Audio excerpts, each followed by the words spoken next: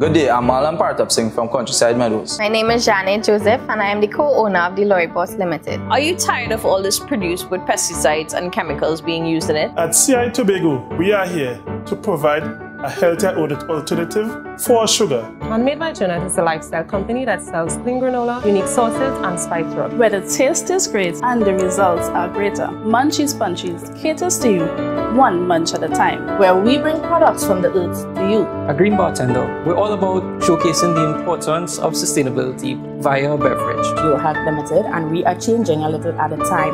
EcoWash is an ecological car wash system that uses 2 liters of water to wash a vehicle.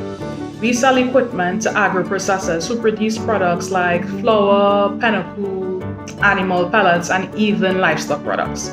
We are an agriculture and food processing company located in Trinidad and Tobago. And with our company, we have a range of products that will make your food experience enjoyable. Our focus is to provide a financial service that gives you simplicity and reliability. And, and we are the owners of Energy Connect, your global energy portal.